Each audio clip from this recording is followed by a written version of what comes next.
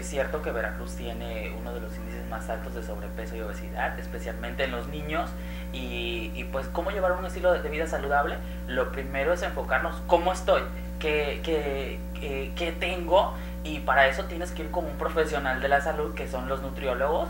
Eh, ellos te van a decir si tienes realmente sobrepeso, tienes obesidad, qué tienes de más, si tienes músculo, si tienes agua, si tienes grasa de más.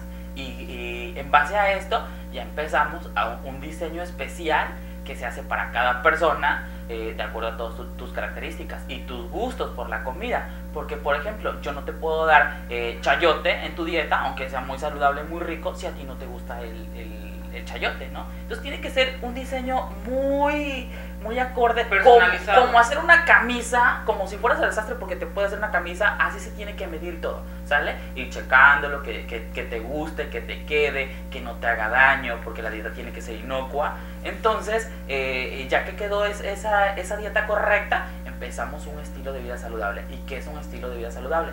No solamente es comer bien, es hacer ejercicio y dormir, que es muy importante. Eh, me, mucha gente, eh, muchos de mis pacientes llegan porque tienen eh, el músculo bajo y la grasa súper alta. Y esto es también porque no descansan correctamente. Mira, lo primero que tienes que hacer, ya que sabes que, cómo está tu composición corporal, eh, empezar a desayunar. Ese es un hábito muy malo. los hábitos te llevan a, pues, a generar un estilo de vida saludable desayunar, que no pases entre 30 y 40 minutos de que te despiertes a que desayunes tienes que desayunar algo muy tranquilo. O yo lo llamo primero al despertar y luego desayunar. Eh, al despertar, por ejemplo, que te tomes un tecito con leche, un poquito de yogur, cafecito con leche no es malo para nada, eh, un poquito de avena, una tacita de fruta.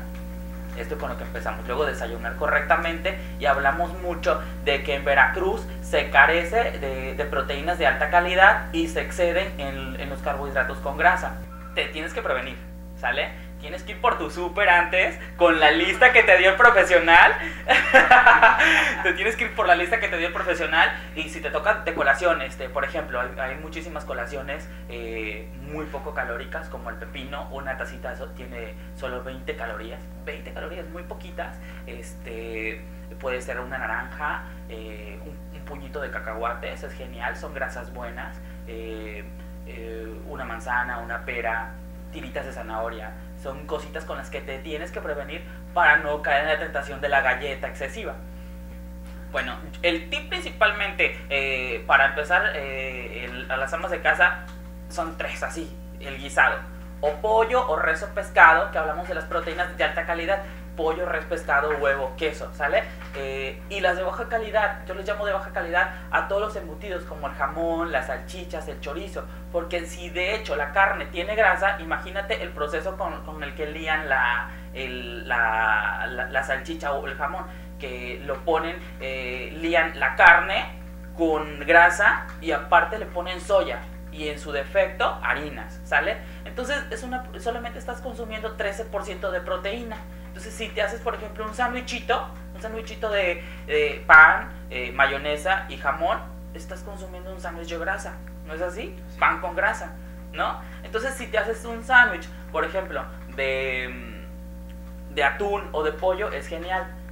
El pan no es malo, lo malo es con lo que lo rellenamos, principalmente. Y los guisados, el, el famoso guisado jarocho, ¿no?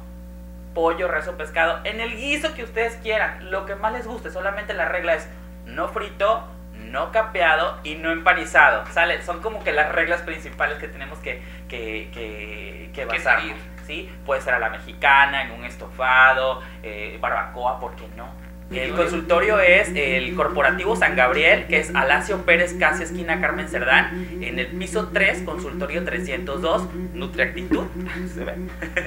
Nutriactitud. Este, mi teléfono es 2299 05 58 82 pues que, a, toda la gente una invitación para que visiten a, los profesionales de, la salud.